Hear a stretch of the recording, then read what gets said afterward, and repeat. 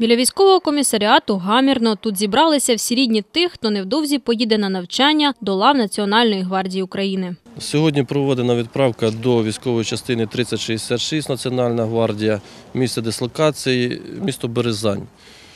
Е, В кількості 16 чоловік відправили. На даний час їх доставлять до військової частини. Там вони будуть проходити як навчальні збори, теоретичну підготовку, практичну підготовку на протязі 50 днів.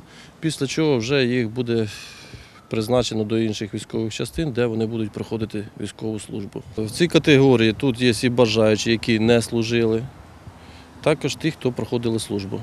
Жінки утирають сльози, які течуть по щоках. Чоловіки посміхаються з вікон автобусу, який невдовзі від'їде. Вони налаштовані патріотично, і це помітно із гасла, яким вони славлять Україну. Слава Україні! Героям слава! І ось настала та тривожна мить. Автобус рушив з місця.